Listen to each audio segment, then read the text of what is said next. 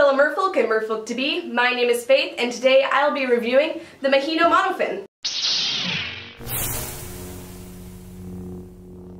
So this is a large rubber monofin from Australia. The company Mahina Mermaid was founded uh, a while ago by a professional mermaid who wanted to make mermaiding safe and accessible for everyone. These fins are made out of recycled rubber for children and adults and are one of the safest out there. They come in three sizes, the Merfin, like the classic Merfin, the Junior Merfin, which is like a smaller version of the adult size, and the Little Merfin, which is made with a combination of plastic and rubber. I've wanted one of these for a long time, and I'm really excited that they sent one for me to review. I do own one other rubber monofin, the Mirage, also from Australia. This one is, whew, it's not as good as the Mahina, let me tell you that. But enough of my preamble, like all my other reviews, I will be reviewing it on cosmetics, comfort, durability, customer service, and performance. So here we go! So cosmetics, 9 out of 10. So let's take a close look at this fin. It's a gorgeous teal color, streaked with lots of yellow and gold rubber as well. It's got these really nice little fluke lines, and the back, it's got a very strong ridge, which enables you to propel faster through the water. You can see it's embossed Mahina on here, as well as this cute lipstick mark on the back of this fin, and some safety information on the heel. I thought that this would be a little bit of a brighter color. It seems like it's not quite the color that they have eh, advertised online and you can't actually really see the yellow from far away, especially when you're swimming in the water. But other than that, I love this. Some people don't really like the shape. They don't think that the fluke tips should curl out this way, but I love it. You really can't beat the Mahina in their mermaidy shape. In the water, this monofin flows like a dream. The fluke bends and flows very naturally and curly and and I love the way that the fluke tips flick up in the water. It's just gorgeous. So now we're moving on to comfort. I'm going to give it a 9 out of 10. Lots of people had told me beforehand, oh my gosh, you're gonna get like blisters and foot cramping and you're gonna break all your ankles. And to be honest, I didn't really experience any of those unfun foot injuries. When I spoke to them over Skype, they said definitely wear neoprene socks with it because blistering will occur just because of the materials. That's uh, something that's gonna happen. So I was very careful to wear socks with my monofin. I didn't own my first swim, but I did uh, all the other times I swim after after and I really didn't get anything. My foot cramping was as normal like I get in any other monofin. So I actually don't own neoprene socks. I just use actually regular socks like regular fabric socks and they work with my monofin. The only downside is they feel a little weird in the water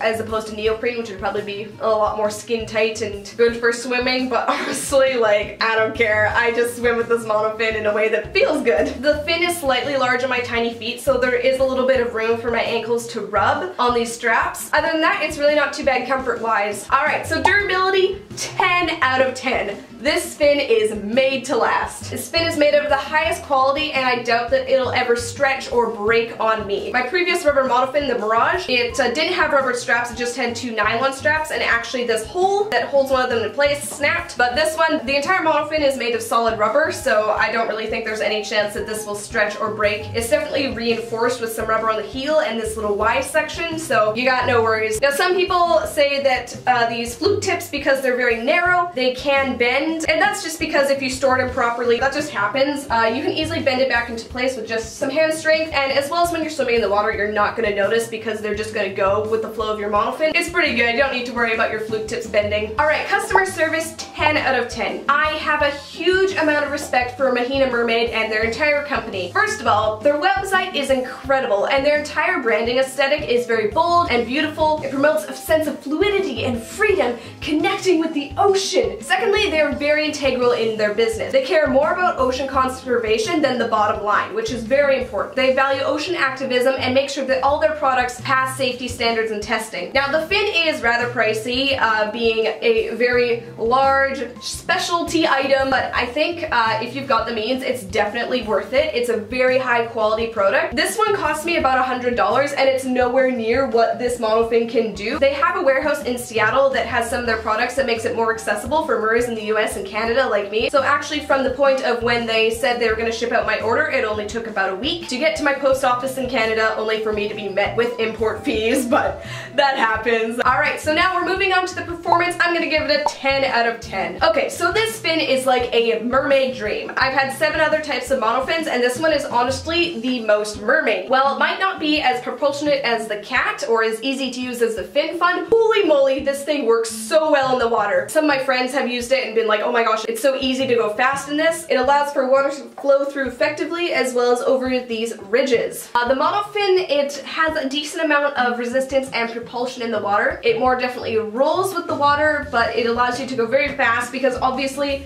it's so huge. Something like this is going to power you through the water very quickly just because of its giant size. It's a little bit of a thicker, stiffer rubber on the body of the fluke right up till this point where it starts getting a little floppier. The weight of the monofin out of the water is about 4.3 pounds. It actually doesn't sink. If I leave it in the water, it'll just stay there and then slowly, slowly, slowly slowly float to the surface. The foot pockets work very simply. You stick your feet inside. You just gotta kind of pull the strap, get it over your heel. To take it off, super easy, light tug on your feet, and you are out. This is definitely a very high performance monofin. Now I know that people are going to ask where you can get tail skins for this product, and the answer is kind of eh, no. First of all, it's so big, it really won't naturally fit in any average tail skin. I do not endorse the Mahina product to be used in conjunction with any other products that are not issued by Mahina Mermaid, meaning other mermaid tails. Now they do sell a variety of scale printed leggings, especially for little girls who want to achieve the full mermaid effect. This is a decision on their part for the safety of children using monofins. They don't want to ruffle anyone's scales and completely like oppose uh, full tail mermaiding, but they do recommend that people who want to pursue full tail mermaiding are adults who are highly proficient in water such as lifeguards or freedivers. Hey look, that includes me. Um, but for now, I think I'm honestly just going to use this Mahina monofin without a tail skin because I love the way it looks in the water. You don't want to cover this up. Like, do I not look like a mermaid anyways? I think it's a perfect opportunity for me to show off my shorts by Virtuoso, and as well, I've used them with my leggings from Mermaid Tail Party, which I think work wonderful in the water too. When it comes down to it, mermaiding is a great experience no matter what you look like or what type of tail you have. So my total score for this monofin is 47 out of 50. That's a 94%. That's an A. I think that's an accurate grade for this monofin. It's definitely one of the most mermaidy monofins I have and I absolutely cannot wait to take it out on adventures on the lakes of Canada this summer. So stay tuned, subscribe to this channel as well as my second channel that I made for more mermaid adventures. Give this video a thumbs up if you enjoyed it or found it helpful and leave a comment below about any questions you have about this monofin or other products that you want me to review. Thank you so so much for watching and I'll see you later. Bye!